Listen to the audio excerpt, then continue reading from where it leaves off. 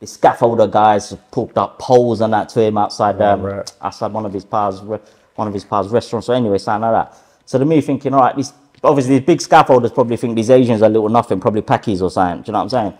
So I've grabbed my white van, grabbed my piece, and I've gone. I've gone to this road in um, Banstead, Tadworth, yeah. So I'm going to with these fucking scaffolders. I'm firing away. Like this is just a normal road. I'm, I'm, I'm reckless then, yeah. I'm firing away. And my brother's like, that's the door. So I rung at the door. I said, who the fuck is trying to think my brother? And his bird come out saying, Emon, what are you doing? I was like, fuck, put this there I'm gone. Next day, luckily for me, that would have been a big, big major case. She Yeah, yeah. it and I said, well, you're fucking scaffold offer and shouldn't be fucking running, my brother. But then people knew in the manner, they know I got things around me. Like, do you know what I'm mm. saying? Yeah, I'm five foot five small.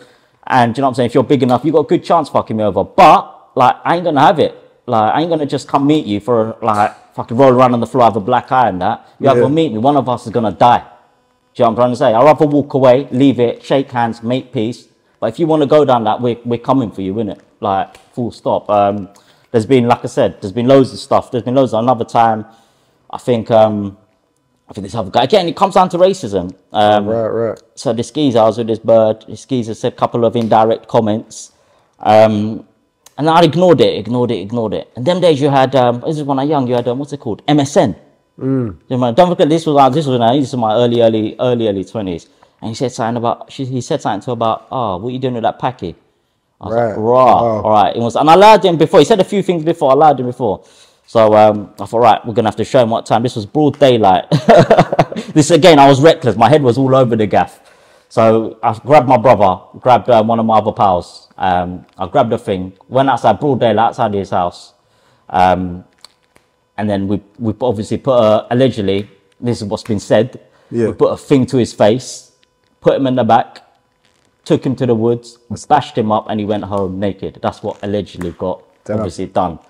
Um, but things like that, it went around. Do you know what I'm saying? It got thingy like fuck, like these boys ain't fucking around. What was the reason for that? Racism as well. Racism. So Yeah. firstly, this geezer about two times before said signed like indirectly about packy this, Yeah, that, yeah. yeah.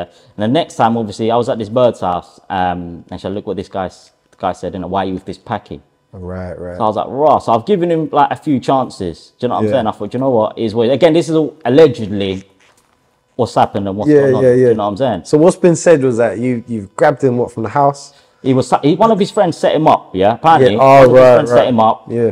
Apparently, he said I put a finger in his face and his pal, put him in the back of the car, took him to the woods, fucking gave Bashed him a up. good hiding, Yeah. and then he walked from the woods. I think no, from Petrograd all the way to his house naked. Damn. So, but that's what allegedly got done. But to be fair, like I said, I'm a easygoing guy. I'm not a bully. I'm humble. But if you're going to be racist, and for me, I have to think about my children and my brother and family. If I don't clamp down on the clamp down on certain things, and again, I stress this was allegedly. If I didn't clamp Yeah. down on these things, then it would have continued. He would have done it to someone else. It would have happened to my kids. It's generation after generation. Do you know what I'm trying to say? Mm. Anything I've done in my life, like what of the stories I've told you, it is it's for a reason. There's not. I'm not one of those people that. You know what I'm saying? For no reason, yeah. For no reason. Do, yeah, not no reason. I mean, some people have the opinion why you should do this, why you shouldn't do that. But if you don't, if you don't clamp down on things, it will just continue. Like, see, for example, with this guy, um, the racing, he's done it twice before, and I said it in the nicest, politest way. Um, please don't. You don't want any problems. Just please. And he didn't listen until allegedly that madness happened. Then everything just stopped. Everything stopped. Right, ain't heard from him since. Ain't seen him since. Um, and then yeah, I mean, I can tell you another madness. Um, again, like I said, every madness I've had was through like racism. So another guy, um, so he said, I can't what did he do? He was messaging Bird and said something about again, said something racism about my family or something. Right. Anyway, so me and my bro Cannibal, like, he's the stabbing king. Like anyone, you know, He's known for it he- oh mate, he's he's the stabbing king. Do you know what I'm saying? Like I've never been. Do you know what? I've never like. Do you know what I'm saying? Being one of those ones. I'll grab my thing and just if I got to do what I got to do, I do what I got to do. Mm. So the skis are rang, and then he's he's giving it on the phone. I'm like, you ain't gonna do nothing anyway. I grabbed cannibal. We we had some things even the butchers don't even have. Do you know what I'm saying? Twelve o'clock. Found this. Found well. We, I thought we found this house. Anyway, we couldn't find it. Um, and then the next day, I think we got caught on CCTV.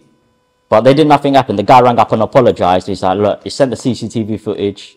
of whatever. I like, fuck, that was a lucky sort of thing. He apologized and that was the end of it. Do you know what I'm Yeah. trying to say? But these are things, like I say, if, you, if we just knocked on his door, if we found the right door and knocked, oh, sorry, mate, this, he would have carried on and on and on. He saw what we was on.